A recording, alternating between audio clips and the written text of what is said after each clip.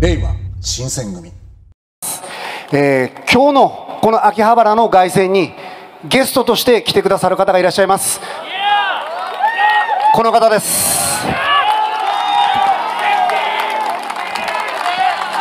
須藤元気さん。元気ですか？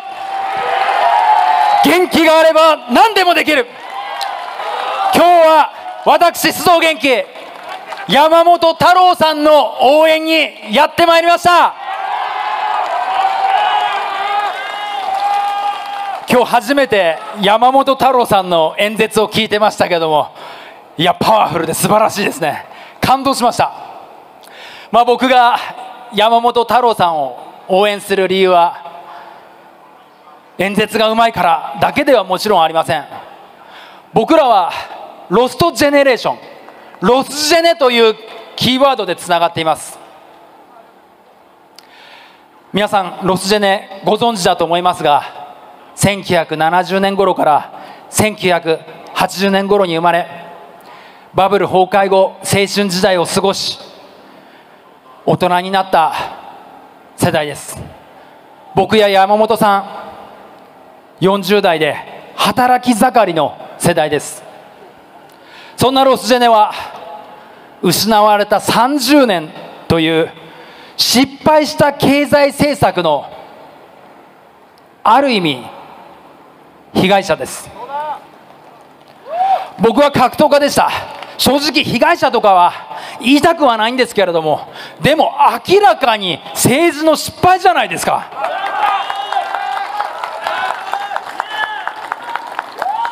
悔しいんですよ。本当に悔しいです。30年間デフレが続きかつてはアメリカに次ぐ経済大国と言われていました。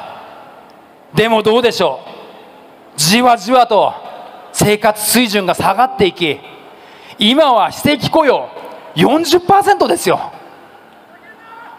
ロスジェネ40代になってもアルバイトで生活しなきゃいけない人が当たり前にいる社会になってしまったんです。僕の仲間でもアルバイトや日雇いいますよ。結婚なんかできません。金持ってないですから。子供なんかできませんよ。少子化当たり前ですよ。そんな余裕ないですから。これは僕は人災だと思ってます。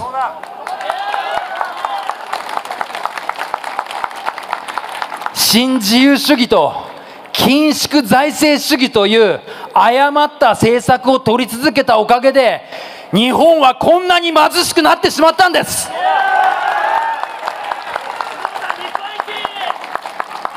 そんな中消費増税そしてコロナですよ。税金が上がって収入が下がってまさにダブルパンチですよ。どうしたらいいんですか？なのに政府は弱者を助けようともせず何ですか？あのマスク2枚って。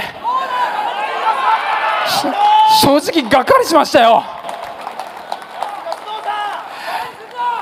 ようやく10万円一律給付。やりましたけど手続きに問題があっていまだに届いてない人たくさんいるじゃないですか。こんなんでいいんですか？こんな話をすると都知事選と国政関係ないだろうって思ってる人いるかもしれません。でも違うんです。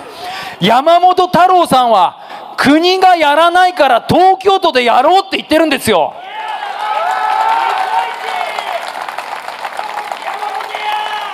山本さんの都の積極財政15兆円。ロスジェネの雇用保障プログラム本当に素晴らしい政策だと僕思います。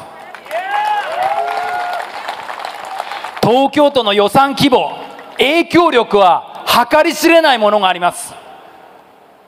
そうなんです。山本太郎さんが東京都での積極財政成功させれば霞が関も後に続かざるを得ないんです。東京都が変わったら国が変わるんです。だから今山本さんを支援する必要があるんです。山本太郎さんが都知事になってもらう必要があるんです。山本太郎さんのように反緊縮という新しい経済政策に通じた人間が都知事になるべきなんです。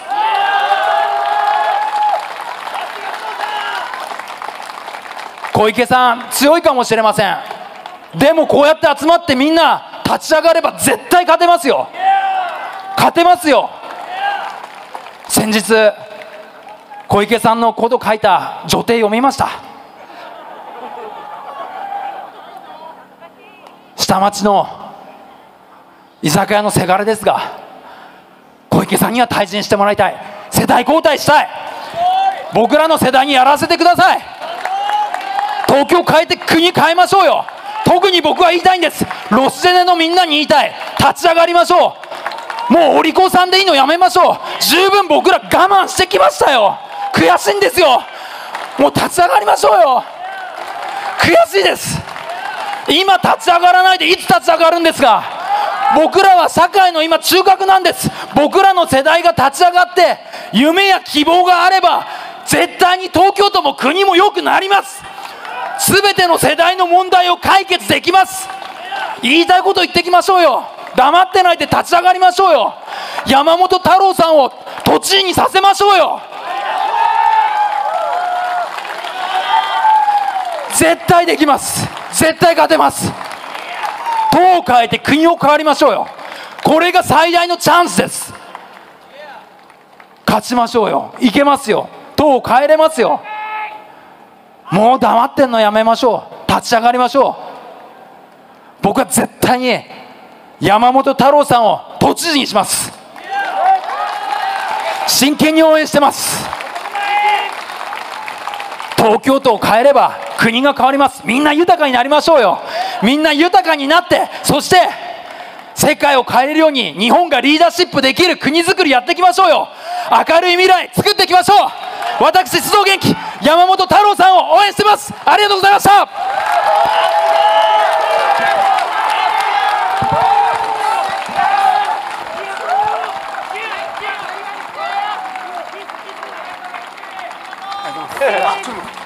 お手の方ど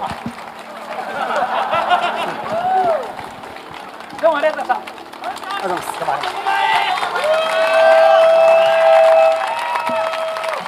いろんなしがらみあるのにね。そのしがらみを全て切ってでも応援してくれるって。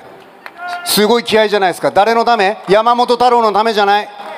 ロスジェネアこのコロナで苦しんでいる人たちの底上げをするチャンスだからということです。